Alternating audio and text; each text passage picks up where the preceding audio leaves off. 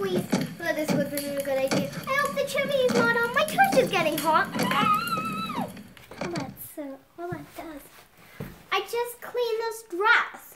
Well, if you want to make great Christmas presents for your mom and dad, well, come to me, Mrs. Claus, and I'll show you how. Here we are in my workshop, Mrs. Claus. And today we're going to be making a gingerbread man just like this one. As you can see, this is Little Crummy. Well, let's see what's inside. Hooray! It's gingerbread pieces.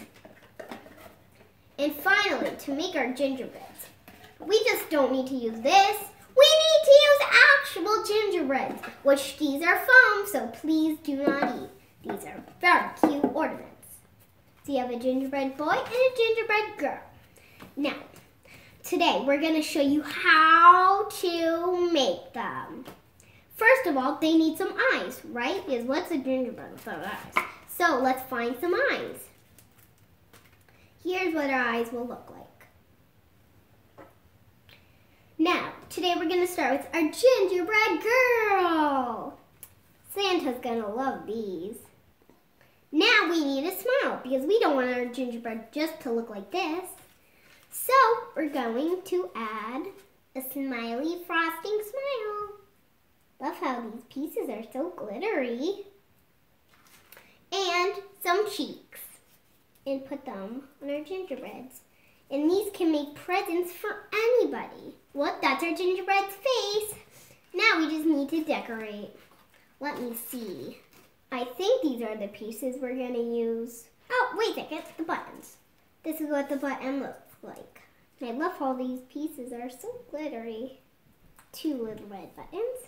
Now we just need something for the arms. Maybe like this. I think I'm going to use these. Oh, so weighty. This is what they look like. Make it look exactly like the other arm. Here's how it looks so far. Now we just need to do the legs. Here's how it looks. Now we just need to add some hair. And these are the pieces that we're going to use. Oh, so squiggly. And have you guys heard the gingerbread story? Tell me in the comments below. And here is our gingerbread girl. Have you ever heard the book? Did she get eaten or not? I really want to see. So she did. And this is the gingerbread boy little sister. Here's how she looks. Last of all, we just need to add a string. I'm going to use a gold one. Just get one that's not tied in a knot. Now we're going to make our gingerbread boy. He's going to look similar to our gingerbread girl. So we're going to use the green sparkly dots for him. And here's what they look like. He looks so cute so far. And we barely did anything. Take another eye. Because have you seen a gingerbread without an eyeball? You probably ate it, that's why. Now here's the gingerbread's little brother and the cheeks. Lucky us, we only got two red ones left. Just enough to make our gingerbread. Okay, now we are going to actually start adding the frosting. So we're to use the little humpy ones again. That's what they look like again. Add some frosting on with our little frosting thing. Frosting, frosting, frosting, fr fr fr fr fr frosting. Okay, now we're gonna do the feet. Exactly the same.